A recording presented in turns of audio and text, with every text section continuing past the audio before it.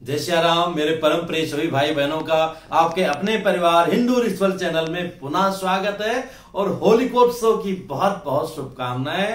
प्रभु की कृपा से जीवन में खुशियों का हर रंग जो है भर जाए।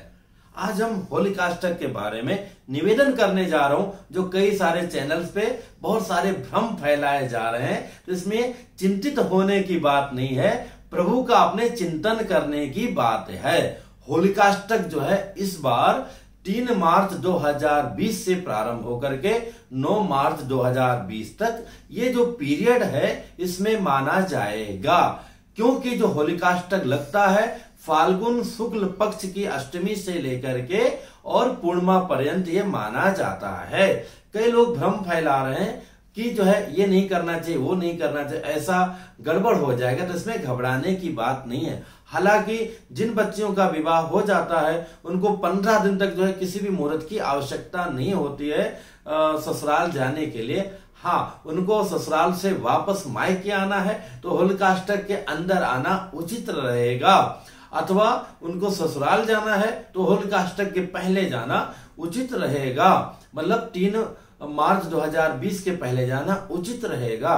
किसी भी कारण से वो बाद में जाएँगी अथवा उनका अभी टिकट नहीं हो पाया है तो उनको एक छोटा सा नियम है कि प्रस्थान कर देना चाहिए। प्रस्थान मतलब क्या होता है कि जिस रास्ते पर हमें जाना है, अपने घर के बाहर कहीं भी किसी के भी घर में एक अपना जो कपड़ा पहनते हो, वो कपड़ा अथवा चार लोग हैं जाने वाले, दो लोग जाने वाले हैं तो दोनों लोगों का एक एक सेट कपड़ा पैक करके वहाँ पर भिजवा दीजिए। जहाँ पर जिस घर में अथवा जिस जगह पे कपड़ा रखा है, उस जगह को जो है क्रॉस करके हमको आगे नहीं जाना चाहिए। इस बात का भी ध्यान रखेंगे।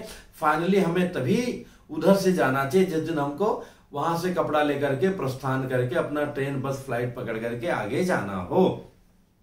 और भी अच्छा रहेगा अपने आचार पुरोहित से जो है दिशा सूल इत्यादि देकर करके भी आप यात्रा कर सकते हैं। हालाँकि कई लोग घबरवा रहे हैं कि इसमें केवल अंतिम संस्कार के लिए तो हर आदमी विवश होता है, इसके बाद के बाकी संस्कार नहीं करना चाहिए। पर शास्त्रों में ऐसा बिल्कुल नहीं आया है। आप पंचांग उठा करके देखिए, ऋषिकेश पंचांग, गणेश आपा पंचांग, और भी देश के जो प्रमाणित पंचांग है, जो विद्वान लोग जिसको प्रमाणित, प्रमाण मानते हैं, इन पंचांगों को देख सकते हैं आप। तो उसमें अलग अलग दिन के अलग अलग मुहूर्त है। कहीं पर किसी की विशेषता है, कहीं पर नक्षत्र की विशेषता है। तो इस प्रकार से आप सारे कर्म कर सकते हैं। यहाँ तक पूर्णिमा तिथि तक को जो है विवाह दिया गया है। तो इसलिए इसमें घबराने वाली बात नहीं, समझने वाली बात है और करने वाली और भी क्या विशेष बात है? जैसा कि आप सभी जानते होंगे कि होलिकाष्टक से लेकर के मतलब अष्टमी से लेकर के और होली जलने वाले दिन तक जो है प्रहलाद जी को उसके पिता जो है हिरण कश्यप कितना परेशान किया था कि जो है परमात्मा कहीं नहीं मैं ही ईश्वर हूँ मेरी ही पूजा करो और जो है उस ईश्वर को मत मानो। लेकिन उनकी अपनी प्रभु में इतनी निष्ठा थी कि उनको अलग अलग दिन अलग अलग तरीकों से जो है आ, उनको प्रताड़ना दिया गया उनको परेशान किया गया।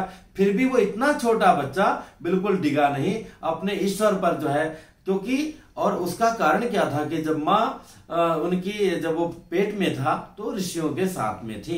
इसलिए जो माताएँ बहनें हैं, उनके पेट में अगर शिशु है तो हमें अच्छा भोजन करना चाहिए, अच्छी बातें श्रवण करनी चाहिए, वहीं से हमारे बच्चे का निर्माण हो जाता है।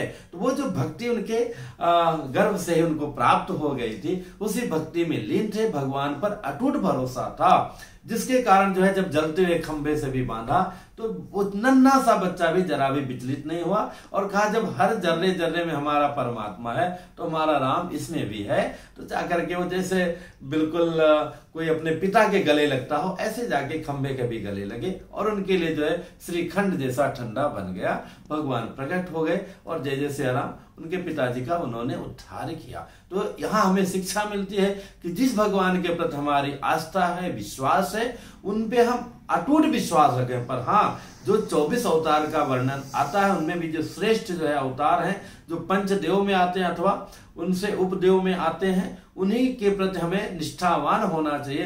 अगर आप नकली के फूल से आप फूल मानोगे तो कैसे काम चलेगा? तो आज ये बाबा हैं, आज ये पीर हैं, आज वो हैं। इन सब में मत पड़िए। जीवन बहुत अमूल्य है। अपनी पवित्र भावनाओं को सही जगह केंद्रित कीजिए, तभी हमारा परम कल्याण होगा।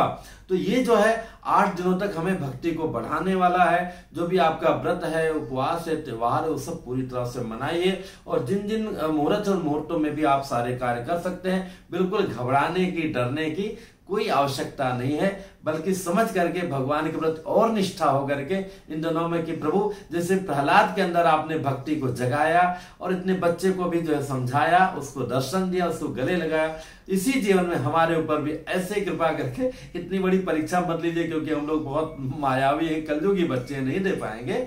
पर हाँ वो भक्ति हमारे अंदर जगा दीजिए और इन्हीं नेत्रों से एक बार हमको कम से कम दरस दिखा दीजिए तो हम धन्य हो जाएँगे। इन भावनाओं के साथ आप विशेष अनुष्ठान, पूजन इत्यादि भी कर सकते हैं। इन बीच में जो गुरु जी से आपको मंत्र मिला है, अथवा जिन मंत्रों का आप नित्य जाप करते हैं, जिनका पाठ करते हैं तो और भी सिद्ध हो जाएगा। होलिका के रात्रि में तो और भी करना चाहिए। उसका वीडियो मैं अलग से बनाऊँगा। होली के दिन हम क्या करें, कैसे करें और क्या ना करें। तो इससे संबंधित जो भी प्रश्न होगा, आप कमेंट्स कीजिएगा। मैं बताने का पूरा प्रयत्न करूँगा। फिर मिलूँगा एक नई जानकारी के साथ में। जय श्री राम।